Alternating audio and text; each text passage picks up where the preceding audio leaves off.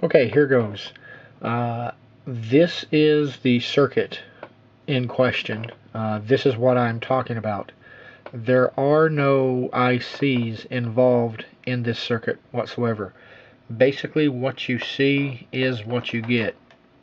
You have a single capacitor, you have a resistor here, a resistor here, and an LED.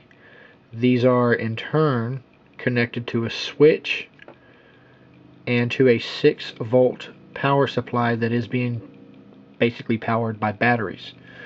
Whenever I press the switch to turn it on, I guess you could say, you're going to see the LED charge up.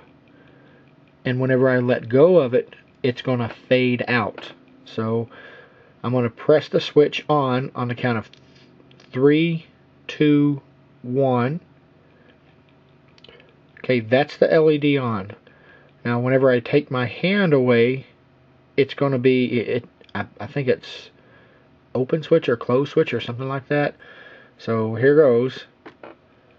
Now the LED is slowly fading. And it's gone. So if I do it really quick, it's going to come on just a little bit and go off just a little bit. That's it. And it's slowly fading again. So as you can see on this circuit, there is no IC.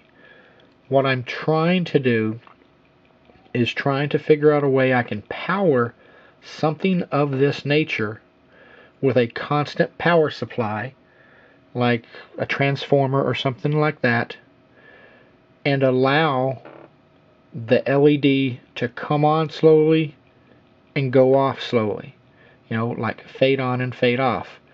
The exact same thing that happened here whenever I press the switch and release the switch. Now obviously it's fading off a lot longer than it took to come on.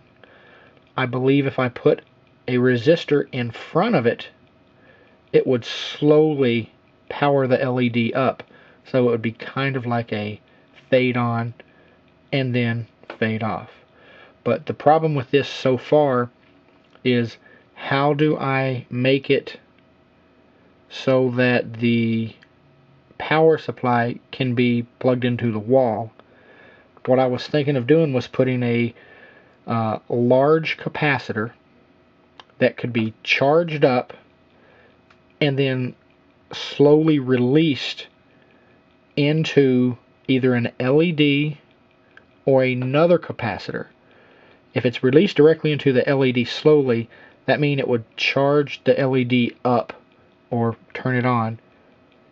And then if I had a resistor at the other end of the LED, it wouldn't allow the current to leave the LED as fast, so it would fade off. It would come on, be bright, bright as normal, and then slowly fade off.